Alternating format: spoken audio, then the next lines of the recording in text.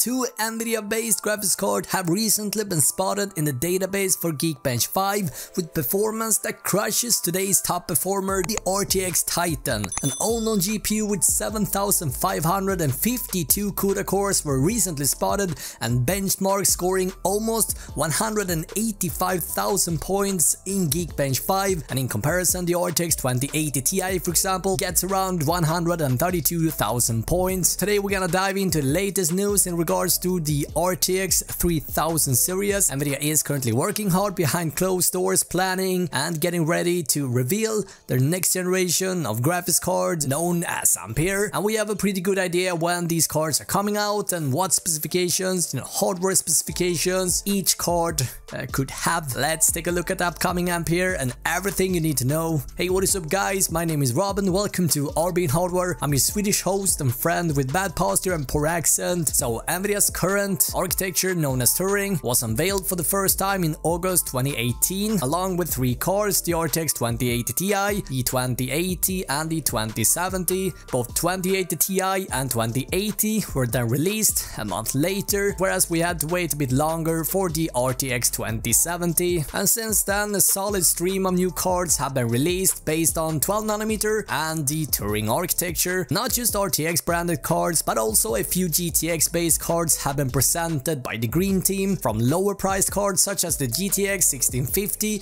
to spiced up variants known as the Super Series to a number of TI versions and recently we have even seen evidence of a potential GDDR6 uh, equipped uh, variant of the GTX 1650 could be underway. But behind locked doors Nvidia is working hard and getting ready for their big next step in the future of GTX and GeForce and recently we've seen countless of leaks and rumors in regards to Nvidia's upcoming architecture known as Ampere and usually when we start seeing you know lots of leaks like this typically mean that we are getting closer and closer to a final product and various leaks indicate a potential unveil for these graphics cards either in March or in June in 2020. Now as far as I'm aware although we have seen several reports and leaks for what hardware specifications upcoming RTX uh, 3080 and 3070 could be getting we still haven't really seen Nvidia's upcoming Ampere being benchmarked until now, which makes this leak pretty interesting because again, we believe Nvidia is making the jump from 12nm down to 7nm in manufacturing process. And if you don't know this would allow for a denser, more advanced graphics chip that could be much faster than today's RTX 2000 series and Turing based on 12nm and the leak again comes from a Twitter user called Rogame recently came across these leaked images showing the performance of two still unknown graphics cards coming from Nvidia and the performance tests are conducted in Geekbench 5 and these are dated to November and October in 2019 which is months ago but it happened to be spotted just recently. Now the listings do not reveal any details about the names of the cards but we do find some specifications and we got some memory to look at. We also got clock frequency and the number of compute units and one compute unit can be translated into 64 for CUDA cores. With that said, let's start by having a look at this monster beast who's got a total of 118 compute units and this translates to a total of a whopping 7552 CUDA cores and 24 gigabytes of graphics memory and this can be compared to the Titan RTX with the TU102 GPU which offers 4608 CUDA cores and 24 gigabytes of GDDR6 memory. We don't know the memory type of this unknown graphics card. And so it is still unclear whether this is DDR6 or perhaps HBM2 memory, but we can see that the clock frequency is pretty low with the max frequency at 1.11 GHz and so we are looking at numbers that wouldn't be entirely uncommon in models targeted towards data centers and not really gaming, you know, first and foremost. I was talking about two cards and the second card tested apparently got a total of 108 compute units and this translates into 6 6,912 CUDA cores, it's got a clock frequency just over 1 GHz and a total of 47 gigabytes of graphics memory. Now the results in Geekbench 5 for the first card with 7,500 CUDA cores is 184,096 points, while the latter one, the slightly slower clock card with less CUDA cores gets 141,654,000 points. Wow. And the numbers can be compared compared to the Tesla V100 and the RTX Titan or the Titan RTX where the Tesla 100 scores around 155,000 points where the Titan RTX scores around 129,000 points respectively. Wow. Now, as I'm recording this it is still unclear you know which architecture and graphics family uh, these cards uh, tested belongs to but there have been speculations that this could be engineering samples of similar hardware that will take place in this supercomputer that I was reporting about in a couple of weeks ago. Historically, Nvidia has previously unveiled upcoming server hardware at the GTC event, and so it is quite possible that more information will be revealed during GTC in 2020, which will start on March 22nd. And at Nvidia's latest keynote, Jensen, you know, head of Nvidia said, quote unquote, you won't be disappointed when he talked about the upcoming keynote at GTC. Now, obviously, I'm very interested to hear what you think about this. Are we facing an Ampere unveil at GTC on March 22nd? It seems quite likely, right? Now, in case you are a bit out of the loop and you have no idea what Ampere is all about, Here's a fast recap of what we know so far. Let's look at performance. How powerful will Nvidia's Ampere be? According to various leaks, it is believed that the upcoming RTX 3000 could be up to 50% faster than current RTX 2080 Ti and when it comes to rasterization and when it comes to hardware accelerated ray tracing, it is believed that the RTX 3000 series could see an even greater increase than the 50% mentioned, again according to various leaks. And this begs the question question, how can the increase be so big?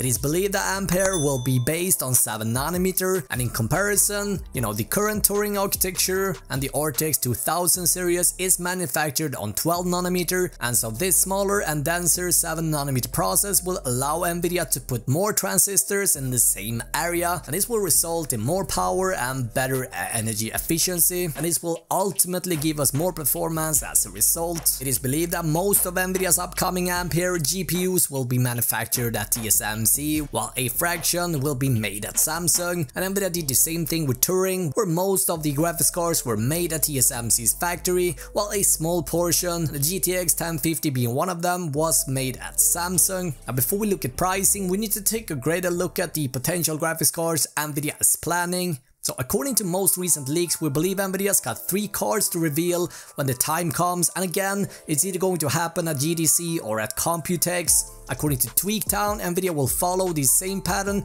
as they did with RTX 2000 series, starting with the flagship and then introduce mid-range later down the road.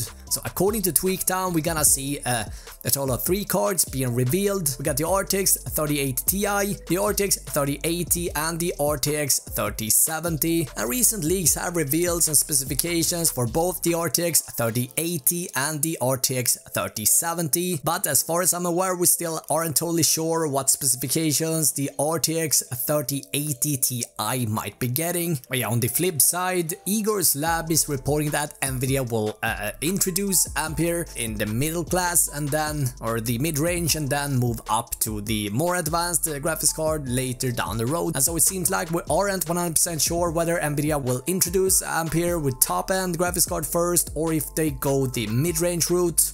Uh, we're gonna have to wait and see uh, how this turns out. So we got specifications for two brand new GPUs guys. Let's start by having a look at GA103 and if you don't remember this is rumored to be the upcoming GeForce RTX 2080. So GA103 this one will pack 3840 stream processors. We got 60 SMs and 10 to even 20 gigabytes of GDDR6 on a 320-bit memory bus. 20 gigabytes of VRAM is uh, a lot. If Nvidia ends up giving the RTX 3080 20 gigabytes of VRAM, it's going to be a very expensive graphics card, maybe a bit too expensive, so my best guess here is that they're going to stay on 10 gig. Remember, it is still 2 gigabytes more than current uh, 2080, and this will keep the pricing down, and it will also line up better with the earlier rumors about Nvidia dropping their prices on RTX 3000 series. If you don't remember, Nvidia got a lot of backlash for the RTX 2000 and people thought it was too expensive and Nvidia sold a lot fewer GPUs than they first anticipated and with AMD planning on dropping Big Navi fueled by RDNA 2 which also got support for hardware accelerated ray tracing, Nvidia definitely have to be a lot more aggressive with pricing this time. Anyway that is just my two cents and I'd love to hear your thoughts on this as well. With that said let's move on to GA 104 and this is the rumored RTX 3070. This one's got 3072 stream processors, we got 48 SMs and we got between 8 or 16 gigabytes of GDDR6 on a 256-bit memory bus. Now Tweaktown is reporting that we should expect the consumer GA103 card to have 10 gigabytes of GDDR6 while the pro level cards will pack 20 gigabyte. They're also saying that Nvidia could surprise gamers offering up to 20 gigabytes of VRAM on the GeForce RTX 3080 but they very much doubt that. There we can see some pictures of the uh, the whole GPU so to speak. Uh, WCCF Tech is reporting that based on the information that we got now, we can definitely expect true 4K and 60 FPS ray trace gaming from the updated architecture, which is very good news in fact. And that's something that a lot of gamers have been waiting for for such a long time. Now as far as price goes, or little to no information about this. My speculation is that Nvidia will ask at least 1200 for the top performer 3080 Ti. I would love to hear your thoughts here guys. How much do you think Nvidia could charge for the upcoming RTX 3080 Ti? Let me know in the comments below. And that is pretty much everything we know so far. I'm gonna keep you guys informed on Ampere and in case you're interested what AMD got in mind for us, I'll link up a few interesting videos below covering pretty much everything we know about Big Navi so far. I'll watch either of these two videos for more content. I want to thank you for sticking around this long. I will see you guys in the